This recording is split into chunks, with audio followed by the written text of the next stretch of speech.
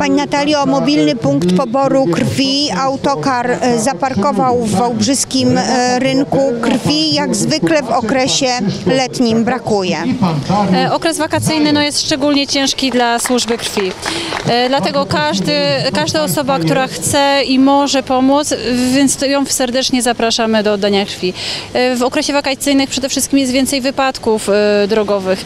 No, każda, każdy litr krwi jest na wagę złota. Jedna osoba jednorazowo daje 450 ml, a to może już uratować nawet trzy życia. To jest szósta edycja. Jest to największy klub na naszym obszarze działania. E, najbardziej prężnie działający. I dlatego też, jeżeli jest krwiodawca, który chciałby wstąpić w szeregi tego klubu, to prezes, pan Janusz Grodzki też serdecznie zaprasza. E, to krwiodawcy po prostu się integrują. E, razem jeżdżą na wycieczki, razem organizują akcje, przede wszystkim razem robią coś dobrego. Panie prezesie, e, klub, który funkcjonuje w Wiktorii jest jednym z najlepszych klubów e, tego typu, jeżeli chodzi o dawców krwi. Jesteście prawdziwym rekordzistą. Tak, z tego co wiem, to jesteśmy jedynym klubem działającym teraz w Wałbrzychu, który liczy z około 150 członków.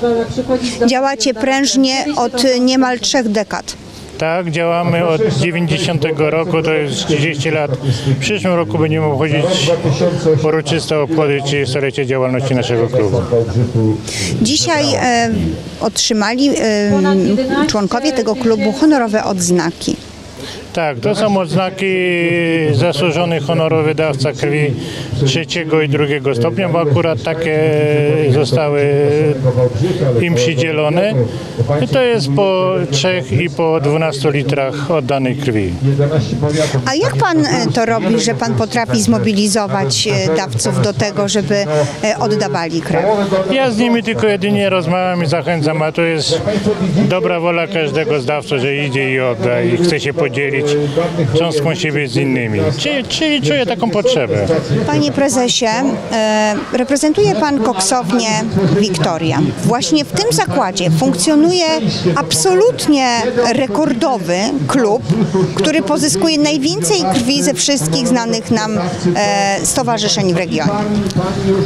No to jest prawda, którą trzeba podkreślić i ja nie wiem, czy ma pani redaktor taką wiedzę, ale ten klub działa od 29 lat. Ja to sprawdziłem i naprawdę chylę czoła przed tymi skromnymi ludźmi, którzy na co dzień pracują e, e, na terenie zakładów koksowniczych, a, a e, prywatnie, można powiedzieć po godzinach, ale przy zakładzie realizują tę swoją pasję pomocy, pomocy drugiemu człowiekowi. No, my tutaj jesteśmy od tego, żeby wspierać takie działania, gratulować tym ludziom i gratulować wszystkim ludziom dobrej woli, którzy naprawdę mają, mają wielkie serca. Dzisiaj wręczał pan odznaki honorowego dawcy krwi. Tak, to są odznaki za największe, za największe jakby ilości e, tej krwi oddanej w roku 2018. Tych statuetek było e, blisko 10 albo około 10, albo nawet ponad 10, ale to naprawdę pokazuje, e, co ci ludzie robią na co dzień. E, Tam są e, takie wyniki jak e, 2700 ml, czyli, czyli prawie 3 litry krwi oddanej w roku. To naprawdę w skali naszego organizmu, w którym płynie około 5 litrów krwi, wiemy, wiemy co to znaczy.